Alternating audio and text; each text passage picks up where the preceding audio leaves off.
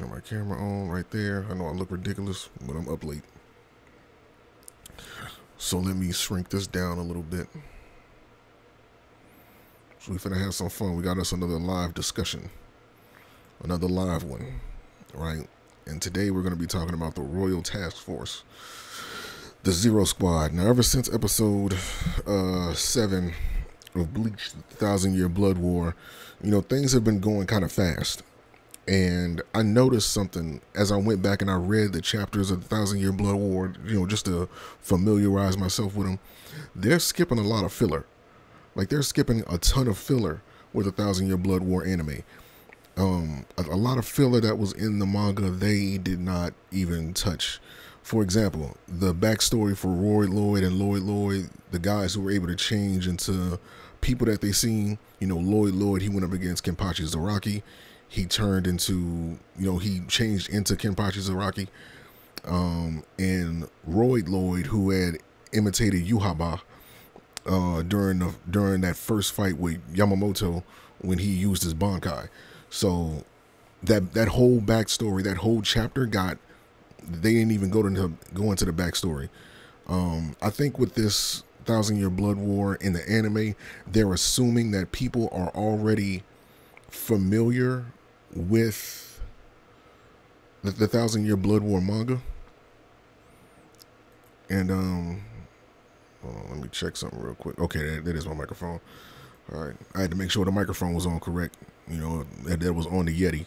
Because sometimes it'll connect to like another microphone that I have either through the the webcam or through my laptop, and I just got to make sure that it's connected to the right one. But yeah, one thing I noticed that they're doing one is that they're skipping a lot of filler. Two, each episode of the Thousand Year Blood War uh, anime, they're going like two to three chapters in. Now, if if you watched episode seven, you know this is the episode that you know Yamamoto got killed. Ichigo shows up. He sees Byakuya uh, basically beat up, basically on the verge of death, and um, he goes to fight Yhwach himself. Now that's actually two chapters. To be more specific, it's chapters I think five thirteen and five fourteen in the um in the manga. So there, so every episode at the very least is two chapters in the manga. So every anime episode is like two or three two chapters or more. Now this next episode is called Zero Mix, and that's actually chapter 518 in the manga. That's the title of a of the uh, chapter 518 in the manga. So what we're looking at is what's going to happen in the next episode, episode eight, is if they're following the, the the pattern that I think they're following, well, for starters, they already released the still shots for episode uh, eight, and I don't think I saved it nowhere, and I feel stupid. Mm. Yeah, that's poor scholarship right there. I gotta kick myself in the ass for that.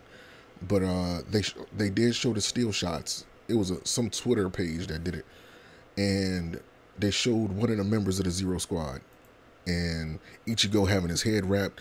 And in the manga at that time, what's what I believe they're going to do for episode eight is that they're going to go through episodes five, 15 to 518. I, I think they're going to cover all those chapters in episode eight. So the way it starts off is that Rukia and uh not not Rukia and Renji, they're injured. They're in the hospital in uh in the research divisions, uh, Squad 12's uh, barracks. They're in the hospital. Byakuya gets picked up. You know, he's all bandaged up and beat up. Ichigo, his Zanbakuto is uh, is uh, is broken, so it has to go get fixed. The Zero Division actually comes down from the Royal Palace in this giant pillar called the Tenchiru and they introduce themselves. Now, the, the identity of the Zero Squad is actually uh, it's actually secret. You know, a lot of the the seats in the divisions they don't really know about the Zero Squad. It's basically common knowledge amongst the captains and the uh, and the vice captains that may have overheard it. So they're a very secret division that a lot of people don't know. And in the Bleach anime, actually, the first mention of the Zero Squad was was episode 206. It was the beginning of the Pendulum arc that went back and told the stories of basically how uh, Aizen turned, you know, Shinji, uh, Shinji and those guys into Vizards when he was trying to fuse the power of a Hollow with the power of a Shinigami, and um, it, it basically told that backstory. It was during the Fake Karakura Town arc when the Visors went to uh, fight alongside the current Gotei 13 in the, in the Fake Karakura Town arc. So that pendulum arc goes from episode 206 to 212. It's only six episodes, but that first episode, this is when Hikifune, uh, she was the one mentioned at the time to went to have joined the Royal Task Force or the Zero Division. And in this video, we're gonna just we're gonna uh, go through all the members of the Zero Division and get people familiar with uh, what's about to come up in Bleach. So, without further ado, let me change my screens. So, who is the Zero Division? Well, the Zero Division are guys who are basically people who are known for making considerable contributions to the history of Soul Society, the entire Soul Society. Um, each of them has each of them has been handpicked by the Soul King, and they pretty much guard the royal palace, the royal family, and, and that's pretty much it. They just guard the Soul King, the royal palace, and the royal family. That's their job, and they're so strict on that that even if anything else is going on in the Serite, such as like the Aizen or anybody else, you know, they don't interfere with that at all. It's not their job. So, but their power supersedes that of the the the Gotei 13 combined. Mind you, this is with Yamamoto. You know, the, the, these are only five people. They don't have armies. Well, one of them kind of has an army with them, but they're basically individuals. Five individuals that have known to made considerable contribution, considerable contributions to the Soul Society, and we're going to go through each of them and um, we're going to talk about them. So, as you see right here, this is the royal palace that the Soul King lives in. And each of these five little discs that you see right here, let me zoom in a little bit. Each of these five discs that you see right here, these are cities that each of the members of the of the Zero Division they control each of these. They control each of them, and they have their own little cities and their own little, you know, kingdoms as they call it. In this big pillar right here is where the Soul King resides. So they basically have um, their own. Basically, they're like kings and queens of their own little uh, area. But one major point, and I'm kind of spoiling something a little bit, so don't kick me in my ass too bad. And I found this out years later after reading the manga. There's a light novel called, uh, let me see if I can get that name right. They do not, what's that light novel? Um, there's a light novel that I bookmark, I think. Let's see if I can find it. Bookmark.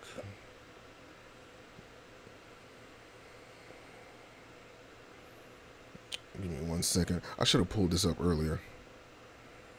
Let me make sure I can get it up though.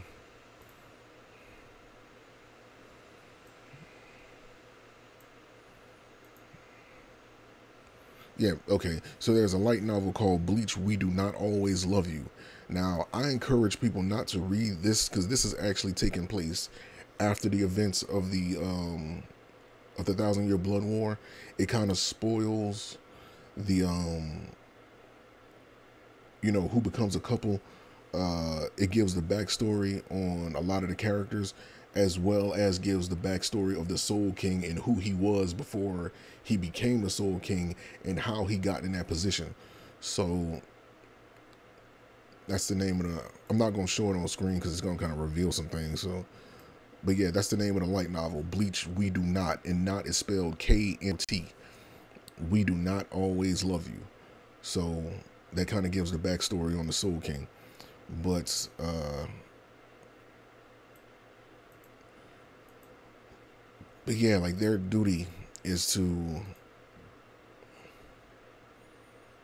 guard the royal palace, guard the Soul King, and protect the royal family. Anything outside of that, they do not do. So, to get started, um, and just to show this, I should have showed this earlier. This giant pillar right here, this is this is the Tenjiru, the Tenshiru that I spoke on earlier. This is their method of trans of uh of transportation from the Soul King's palace down to the Serite. So if you guys remember doing the first, now remember what I said back in my last video that I did on Bleach. If you go back and you watch the main storyline arcs of Bleach, basically any question that you had for the Thousand Year Blood War is going to get answered. And the the pillar is it's almost like a one-way trip. The, they have to get launched back into the sky of the Soul King Palace of, of, the royal palace in order to gain access, you know, in order to get back to it. And the way they do that is with the Shiba clan. Now, if you remember that girl that launched Ichigo and um and Rukia and uh Ichigo, uh Orihime and uh Chad and all those guys when they were trying to get over the wall of the Serite in order to go rescue Rukia um, when they were getting ready to execute her they're the Shiba clan, and they actually are. They have a special task where anytime the Zero Division comes down, they they're the ones that that have the responsibility of launching this pillar back up to the Soul King's palace. So they are actually going to be the ones responsible for shooting them back up. Now, to get to the actual members of these guys right here, let me Oh, let me get this. I don't know why the hell that happened. Okay. So let me move my camera over. So introducing the actual members of the Soul of the uh, Zero Division. Now, again, each of these members made considerable contributions to the Soul Society, and they have certain titles that they that were bestowed upon them, and we're going to go through that. So this is the leader of the Zero Division. This is the first guy that was brought up there. Um, he has the title of the monk who calls the real name, and this is Ichibei Hyosube. And he's actually one of the five special war powers that Yhwach had named, and it was because of his wisdom. Now, this is the guy, he named everything in the Soul Society. Everything. Appreciate the star put. Um, this is the guy, he named everything in the Soul Society you know, he didn't necessarily create everything in the Soul Society, but he named everything in the Soul Society. I mean, he named the Haori, the Haori. He named uh, the Soul Swords, the, the word Zanbakuto. He named it that. Even the Shikai, Bankai, he gave it those names, um, as well as several other things. Like he's the one who named everything, and he pretty much has the ability to talk to any Zanbakuto to find out real information. I kind of spoiled something there just then. He can find out anything about any sword. He has that ability to connect with any sword. So let's say if it's somebody who had a sword that didn't want to necessarily, you know, because the process of a Shinigami learning their Bankai is that they basically have to have a connection with them. And then the sword revealed his name to him, and that's how they gain access to that power.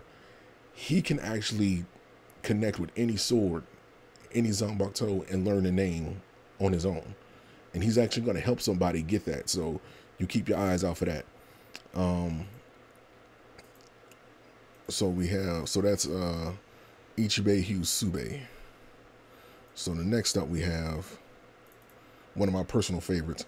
This is uh, the Divine General of the East, Zero Division First Officer, who holds the title of the Hot Spring Demon, Tenjiro Kirinji. Now, this guy, even though he wasn't the one um, that created the healing spells, he kind of pioneered the healing spells. And that was the contribution he made to Soul Society that got him into the Soul King's palace. That's what got his attention of the Soul King and got him into the Zero Division. Now, the thing about him is that he has in his palace, right? He has two hot springs. He has he has one called the White Bone Hot Spring, and he has one called the Blood Bone Hot Spring. And a person needs like special unless they have a considerable amount of Reiatsu that their body can handle, they need special gear to even enter those hot springs. So Rukia, um, Ichigo, and Byakuya, they're gonna go to those hot springs and they're gonna get healed by them. But the average person can't go into those hot springs because the hot springs will rip them apart. But basically, how it works is this: with the white bone hot spring, it pulls out the blood and the damaged Reiatsu of the person that gets submerged in the water. With the blood pool hot spring, what it does is it refills the body up with blood. And, you know, depending on how damaged the person is, they have to go back and forth between the hot springs in order to to heal themselves properly. So that's what he's able to do. Um, his Zanbakuto is actually like a wooden paddle. Um, and I can't remember the name of it. Matter of fact, let me see if I can pull up that. I think I had a list of what their kingdoms look like, if I'm not mistaken. Um, give me a second. I gotta click off all this extra shit. Like, we're gonna pull this up.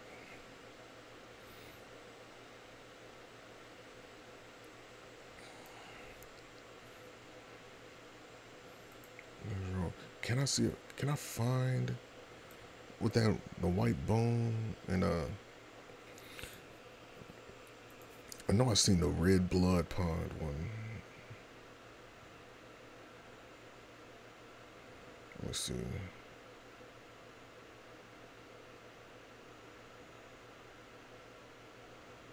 I don't think I can find that.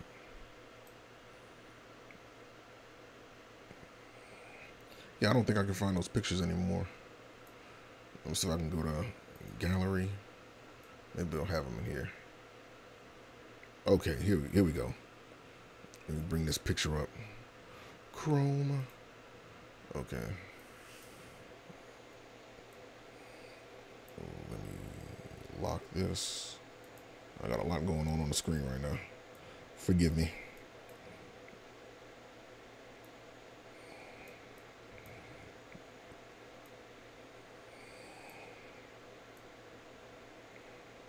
All right, that should be good enough. Ooh, no, get back.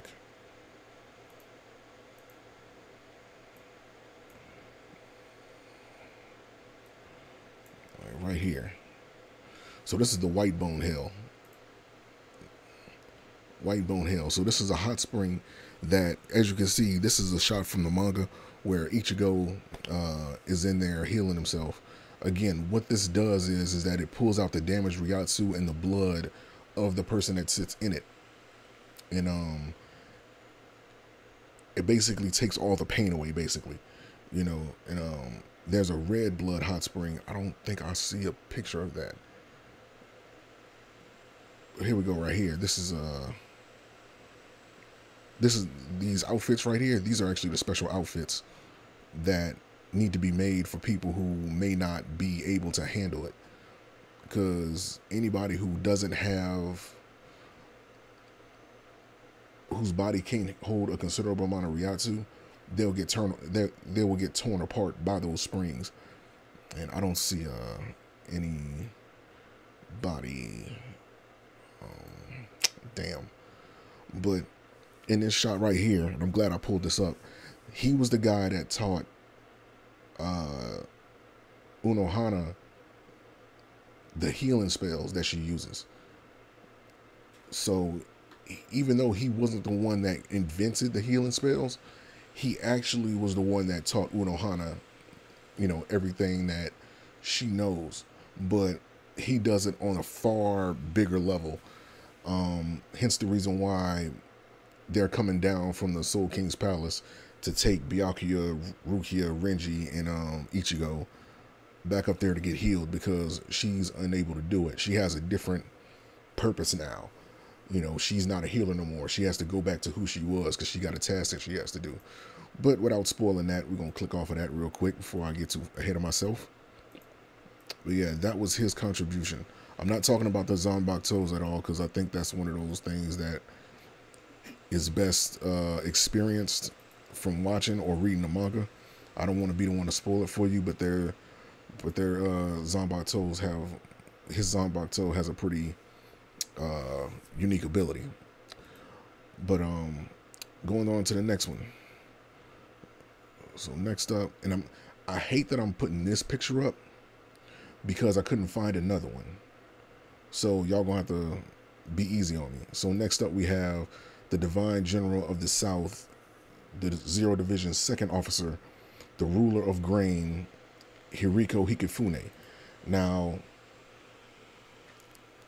when you go back and you watch episode 206, the first episode of the mini pendulum arc, uh, during the fake Karakura Town arc, when they were when the visors were getting ready to go fight Aizens alongside the Gotei 13, that first episode is actually the episode that they revealed that the Zero Squad or the Royal Task Force existed.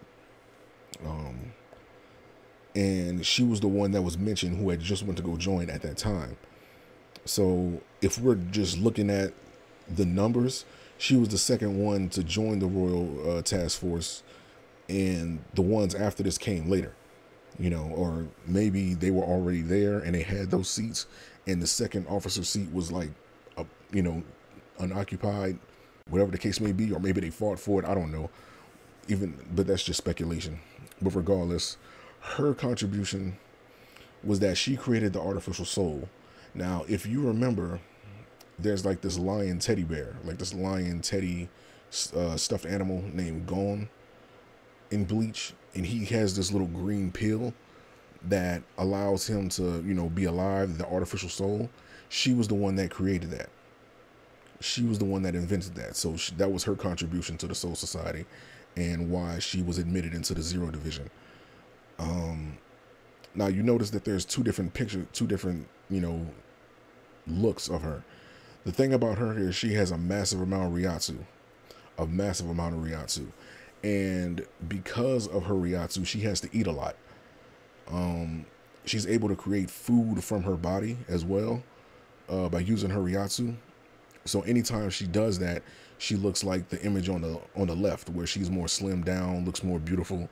You know, she's not as plump, more busty, etc. And on the right is when she actually is healthy. This is the first time we're going to see her.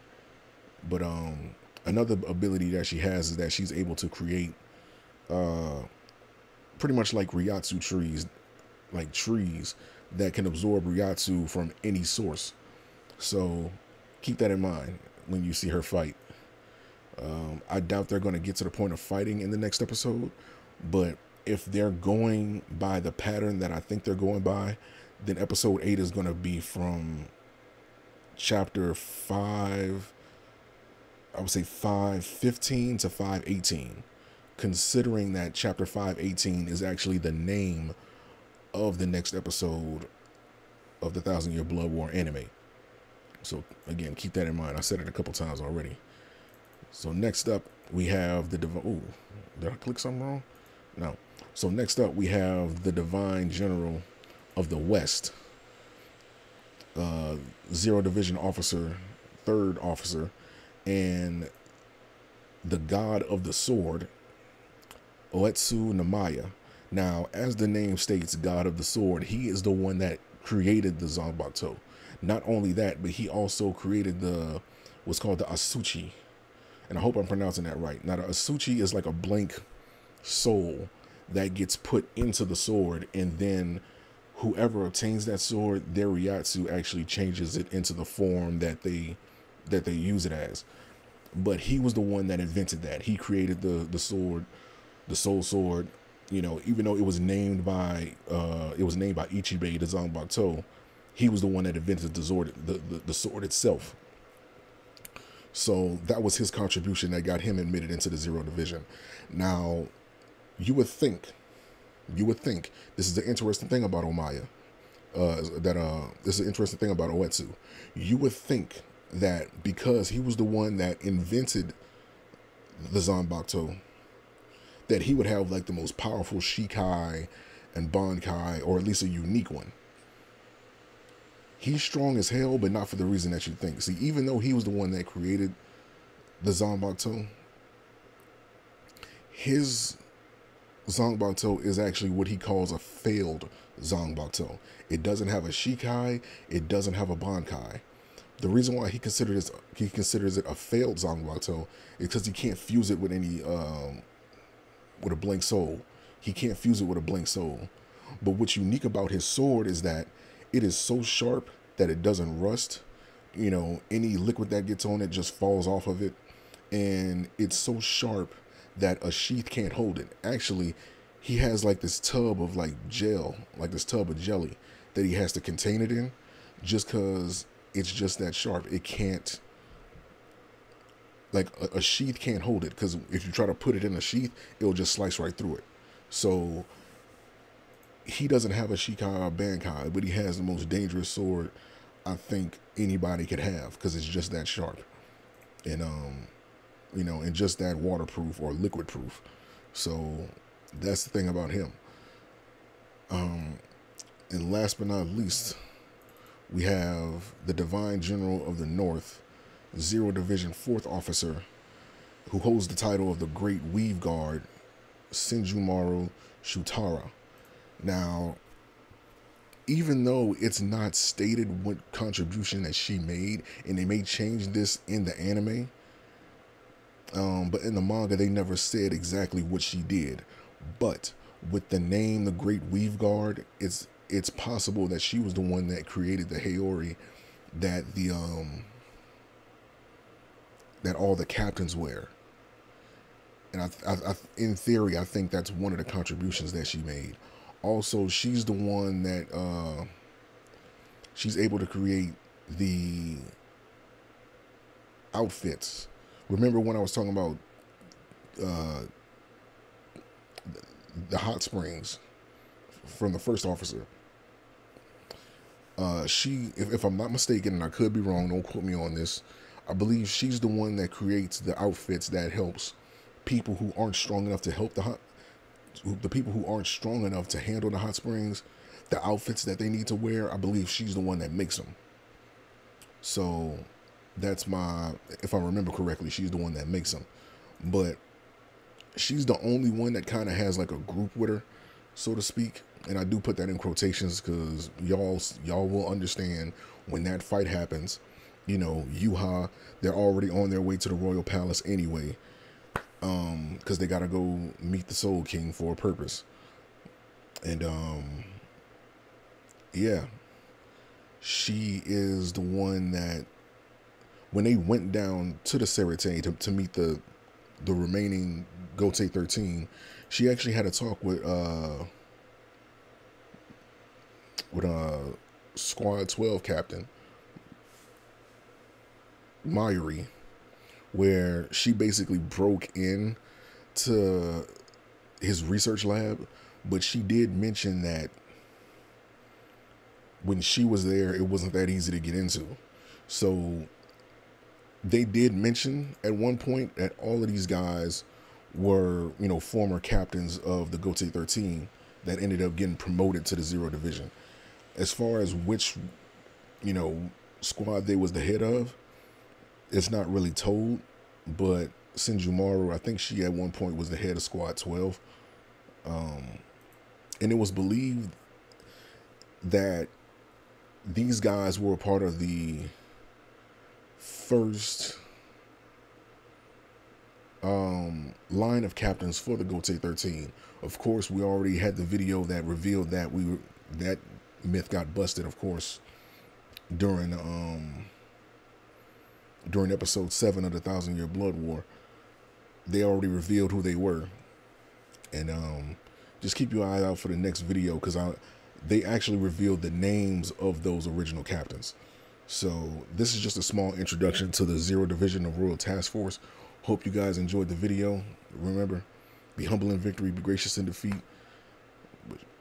but show no mercy in battle. World Warriors Collective. Peace.